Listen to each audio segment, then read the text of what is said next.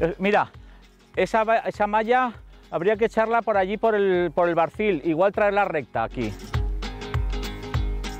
¿No? ¿O no? Lo que me digas, Cari, ¿cuál malla? ¿La que empieza ahí? Esa, esa allí no, nos- eh, llevarla allí a las barzas y tirarla hasta aquí recta. ¿O qué? ¿O qué trozo quieres darles? ¿Arriba? Sí, lo de arriba está muy Lo bueno. de arriba, mejor que esto. No, aquí no hay nada. Vale. comparación. Con todas las ovejas de Rosa y Ricardo ya curadas y triadas, llega el momento de darles nuevo corro de comida.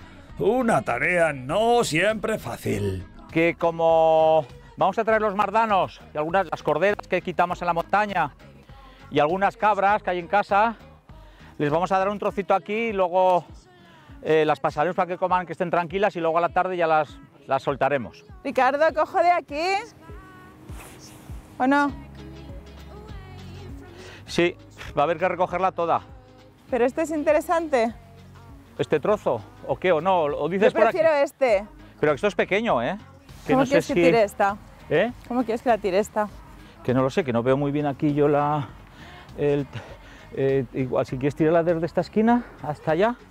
Mira, podemos echar así. ¿Eh? Ven, un momento. Que esto está bueno. Y está limpio. Ven, que está limpio.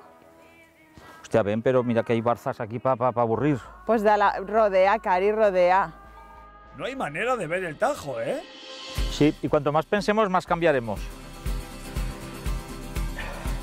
Tira, tira, tira. Voy. El tema es que monte a través con las redes es complicado. Se enganchan y se rompen y se todo. Echarlas así a campo a través hay que aprovechar pues, sendas que habrá de los jabalines, de los rabosos. Y hay que ir mirando las senditas De algo tienen que valer. Sí, sí. El tema es que vuelvan esa noche y se te lleven la red por delante. Que has puesto en su sendero. ¿Y la hierba está buena o está angosta?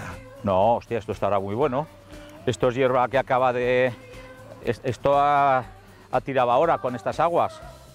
Pasa que está, hay demasiada mojadura. Las ovejas con tanta mojadura pues no comen.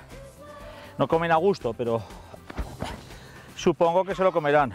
O esperarán a que salga el sol, no sé.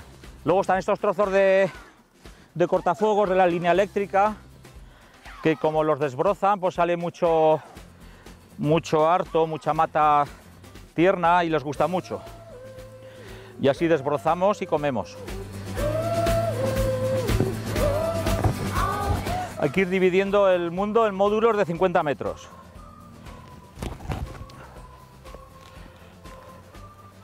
Espera, eh, que esto no está bien. Espera. Por fin corro delimitado y ovejas felices.